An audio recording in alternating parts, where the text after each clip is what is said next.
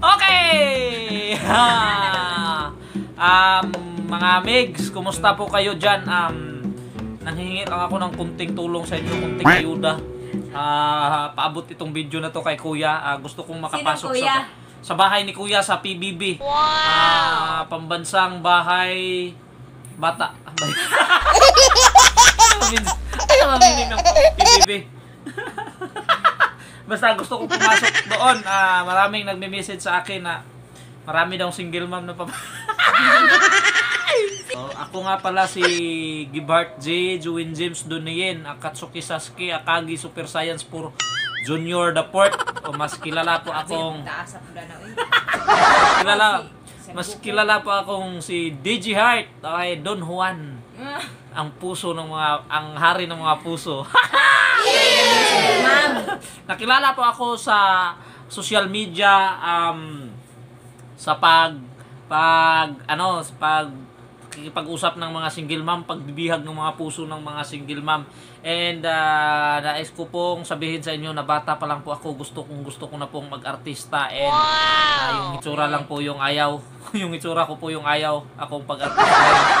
So, naisip kong mag-vlog ng ano mga mga sikat na vlogger and um, nagsimula ito nung lockdown kasi wala ako ibang naisip na paraan para kumita ng pera at yun yung naisip kong paraan guys na ano um, maka-survive kami sa nangyaring lockdown kasi nga yun yung nangyari and ngayon guys may audition sa bahay ni kuya and isa sa pinaka mabisang paraan na naisip ko na pag nakapasok ako sa bahay ni kuya ay mabibigyan ko ng magandang buhay tong aking uh, juwa no Ah, Paano yun? Magagandang buhay eh, nandun ka sa loob.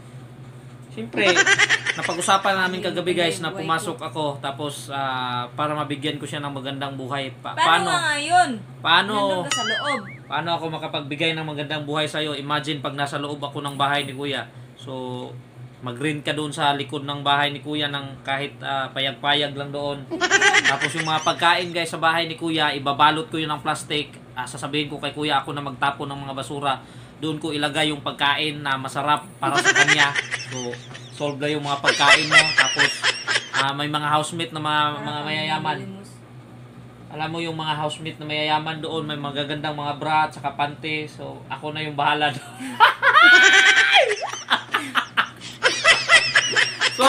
yun yung pinakamami. Yung suot ng bra.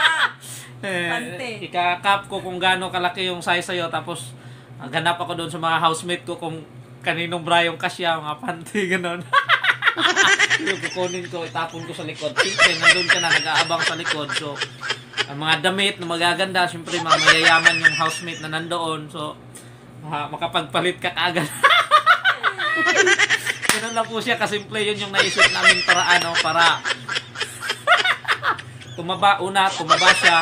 Ah, so mga pagkain doon sa bahay ni Kuya, masasarap 'yon. So Siyempre ako yung magpapahuli lagi ng pagka sa pagkain tapos ako yung magliligpit kunwari.